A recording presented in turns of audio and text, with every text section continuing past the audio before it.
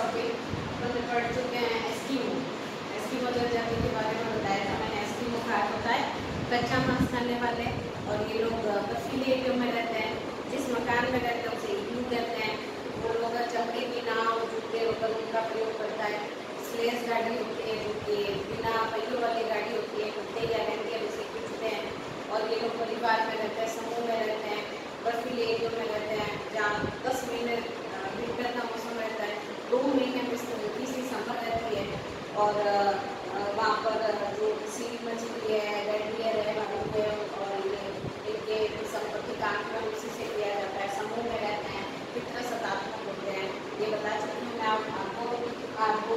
प्यार होते हैं, बाला रुपा और उनिया होता है, और कार्मिक जूते होते हैं कर्मक होते हैं स्लेज गाड़ी होती है अब नेक्स्ट जो जनजाति है वो बुशमैन बुशमैन लोग जनजाति के लोग इनकी संख्या दस हज़ार होती है। इनकी अभी टोटल जो संख्या है, वो दस हज़ार है। ये लोग भी जंगलों में रहते हैं और इनका मुख्य जीवन भी आखे है। आखे के ऋषि का हंडी करके ये लोग अपना जीवन यापन करते हैं। बहुत कम वस्त्र पहनते हैं और दौड़ने की स्पीड इनकी बहुत तेज होती है। जानवरों की भाषा निकालने में बहुत माइल होते हैं और जानवर को फंसा करके ये शिकार करते हैं और ये लोग भी समूह में रहते हैं और अपना स्थान बदलते रहते हैं और ये लोग जो रहते हैं उनका मुख्य एरिया बोत्सवाना नामीबिया दक्षिणी अफ्रीका और अंगोला ये अफ्रीका का मैप है और इस ये साउथ अफ्रीका का हिस्सा ये जो मरुस्थल है ये काला काला हरी मरुस्थल है डिजर्ट है इस डिजर्ट में सबसे ज़्यादा बुशमैन जनजाति के लोग यहाँ सेंटर में रहते हैं दक्षिण अफ्रीका का वाला हिस्सा ये वाला ऊपर जो मैंने बताया ये अंगूला है ये नामीबिया है और ये दक्षिण है। इस एरिया में दुश्मन जनजाति के लोग रहते हैं और ये जहाँ रहते हैं इनका एरिया अठारह डिग्री से चौबीस डिग्री दक्षिणी अक्षांश है ना अफ्रीका का अफ्रीका का आता है साउथ में आता है अफ्रीका नॉर्थ अमेरिका और उत्तर नीचे की तरफ़ आता है ऑस्ट्रेलिया ये दक्षिणी अफ्रीका दक्षिण अठारह से चौबीस डिग्री दक्षिणी अक्षांश की तरफ़ रहते हैं और मुख्यतः यहाँ पर जो वर्षा होती है ये 25 सेंटीमीटर से भी कम होती है इसीलिए यहाँ पर कंटिन्यू झाड़ियाँ पाई जाती है गर्मी ज़्यादा रहती है, रात्रि में थोड़ी सी ठंडक हो जाती है और ये लोग अपना स्थान भी परिवर्तित करते रहते हैं। और ये जो मकान बना के रहते हैं, ये झोपड़ी सी होती है, झाड़ियों से ये अपने मकान बनाते हैं, उस पर छिड़काव करते हैं पानी का, ताकि वो ठंडी हो जाए। तापमान वर्ष भर ऊँचा रहता है। पूरे साल गर्मी रहती है, लेकिन रातें ठंडी रहती है। रात थोड़ी सी ठंडी हो जाती है। ये लोग नाट्य करते होते है Thank you.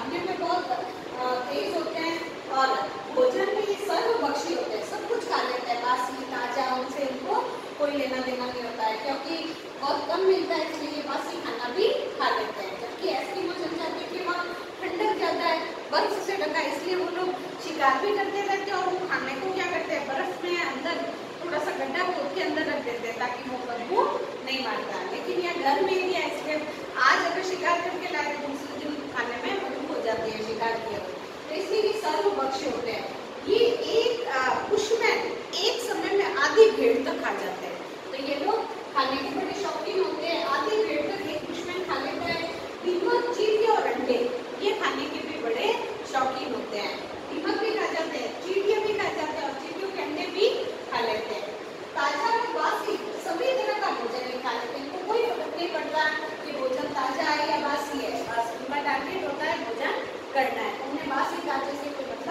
ये बहुत कम पहनते हैं, क्योंकि गर्म एरिया है स्त्रियाँ थोड़ी सी दो तीन वस्त्र और एक ऊपर क्रॉस सा वस्त्र होता है, वो पहन लेती है। और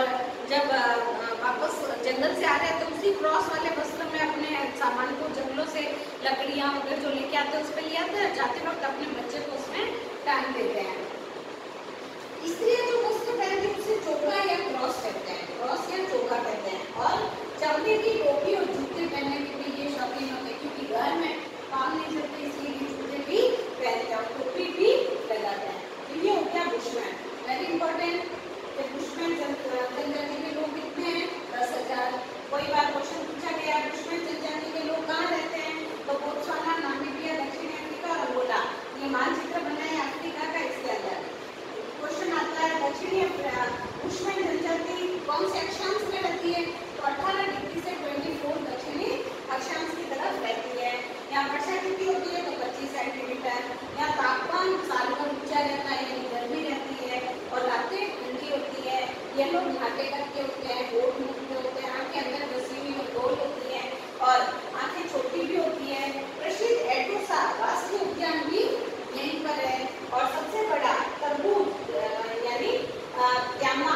है ना खाने के बड़े शौकीन होते हैं और क्यामा इनका मुख्य भोजन होता है क्योंकि घर में भी है कि ये तरबूज वहाँ मिलता ही मिलता है और पानी की पूर्ति वो इसी से करते हैं ये लोग शिकार करके अपना शिकार करके भी बड़ी इनकी कला होती है ये धूप में जाते हैं शिकार को फंसाते हैं और फिर कीचड़ या दलदल में चारों ओर से पहले तो जानवरों के उनकी आवाज़ निकाल करके उन्हें इकट्ठा करते और फिर उन्हें भगा भगा के उन्हें शिकार करते हैं। इसके अलावा ये साधु पक्षी होते हैं सब कुछ खा लेते हैं, ये चीज़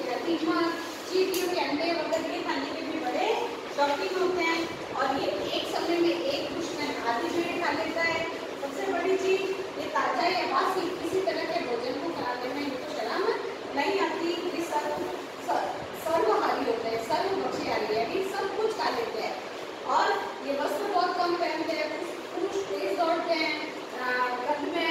नाट्य हैं और काले होते हैं, घर में एरिया जो काले होते हैं, और सबसे बड़ी चमड़े की टोपी और जूते भी पहनते हैं। और इसके अंदर और भी बताया गया है उसमें जनजाति के हथियार क्या है? क्या क्या हथियारों से ये लोग करते हैं? तीखे और नुकीलेदारी तीर रखते हैं, और उसके अलावा ये